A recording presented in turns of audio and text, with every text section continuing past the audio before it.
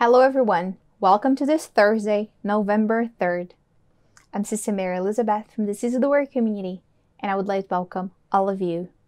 On this day, we celebrate Saint Martin of Por- de Porres. Saint Martin de Porres was born in Lima, in Peru, of a Spanish father and a Negro mother in 1579. As a boy, he studied medicine which later, as a member of the Dominican order, he put to good use in helping the poor. He led a humble and disciplined life and was devoted to the Holy Eucharist. He died in 1639. Saint Martin de Porres, pray for us. And first reading of this day, Philippians chapter 3, verses 3 to 8. Let's get started with the reading of the Word of God for today. My brothers and sisters, it is we who are the circumcision, who worship in the Spirit of God and boast in Christ Jesus, and have no confidence in the flesh, even though I too have reason for confidence in the flesh. If anyone else has reason to be confident in the flesh, I have more circumcised on the eighth day, a member of the people of Israel, of the tribe of Benjamin, a Hebrew, born of Hebrews, as to the law, a Pharisee, as to zeal, a persecutor of the church, as to righteousness under the law, blameless. Yet, whatever gains I had, these I have come to regard as loss because of Christ. More than that, I regard everything as loss because of the surpassing value of knowing Christ, Jesus my Lord. For his sake, I have suffered the loss of all things, and I regard them as rubbish in order that I may gain Christ. The word of the Lord, thanks be to God. St. Paul is telling us here that if anyone has reasons, has motives to boast in who they are, he has more. Paul is saying, if you have reason to be confident in the flesh, I have more. Circumcised on the eighth day, a member of the people of Israel, of the tribe of Benjamin, Hebrew born of Hebrews, Pharisee, zealous persecutor of the church, blameless.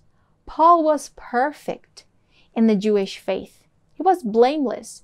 Nothing to blame him, nothing to say that he was wrong. And he was full of zeal, and his zeal made him a persecutor of the church. He was a zealous man, zealous for his faith, a persecutor of the church. But he regards everything as lost because of Christ. Paul did not count all he had as reason for him to boast. Later he would say, If I have to boast, I will boast in Jesus Christ, in nothing else. I regard everything as loss because of the surpassing value, value of knowing Christ Jesus, my Lord. For his sake I have suffered the loss of all things, and I regard them as rubbish, in order that I may gain Christ. Paul regarded things on earth rubbish in comparison of Christ. What a difference from this earth. So many people that regard things on this earth value, valuable, that they leave everything they can behind to have the wealth and the, the recognition of this earth. But Paul is saying everything is rubbish before Christ. When we see Christ, when we consider Christ, everything is rubbish. What are the things that you value the most on earth? Can you regard them as rubbish in comparison of Christ, in comparison of your faith, with your faith? Christ needs to be all for us. He needs to be everything to each one of us. Responsorial Psalm, Psalm 105, 105. Sing to the Lord, sing praises to him, tell of his wonderful works, glory in his holy name. Let the hearts of those who seek the Lord rejoice. Seek the Lord and his strength, seek his presence continually. Remember the wonderful works he has done, his miracles and the judgments he uttered. O offspring of his servant Abraham, children of Jacob, his chosen ones. He is the Lord our God his judgments are in all the earth. And the Gospel is from St. Luke, chapter 15, verses 1 to 10. All the tax collectors and sinners were coming near to listen to Jesus, and the Pharisees and the scribes were grumbling and saying, This fellow welcomes sinners and eats with them. So Jesus told them, told them this parable. Which one of you, having a hundred sheep and losing one of them, does not leave the 99 in the wilderness and go after the one that is lost until he finds it. When he has found it, he lays it on his shoulders and rejoices. And when he comes home, he calls together his friends and neighbors, saying to them, Rejoice with me, for I have found my sheep that was lost.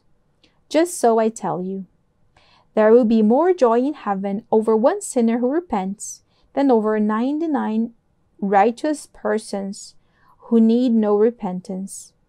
Or what woman having ten silver coins, if she loses one of them, does not light a lamp, sweep the house, and search carefully until she finds it? When she has found it, she can she calls together her friends and neighbors, saying, Rejoice with me, for I have found the coin that I had lost. Just so I tell you, there is joy in the presence of the angels of God over one sinner who repents.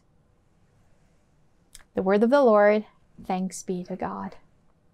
The Pharisees were grumbling, saying, This fellow, Jesus, welcomes sinners and eats with them. Jesus welcomes sinners and eat with them. And Jesus said to them, there is joy in the presence of the angels of God over one sinner who repents. In another gospel, he says, There is more joy in heaven for one sinner who repents than to 99 righteous that did not nothing spectacular to be with God because they were righteous since, since forever. Jesus' mission is he came to save those who are lost. He came to save those who would never be able to honor God and worship God because they were they were weak. Jesus came to the lost sheep of the house of Israel. He came to those who were those who were lost so he could bring them to, to our Lord God. May the Lord bless us today in a meditation of his sacred word. May we find what we have lost. What have we lost? Hope, joy. May the Lord help us to find what we have lost and see that, that there is more joy for a sinner who converts, for a little thing that you convert in your life than for everything that is correct. Sometimes we have sins that walk with us daily because we say, Oh no, I'm not able to overcome it. But there is more joy in heaven if you are able to overcome it than to huge sins that you do not commit. You can make Jesus happy if you can convert little sins, small things, to be in His presence, to be a saint with Him to be his friend. Amen.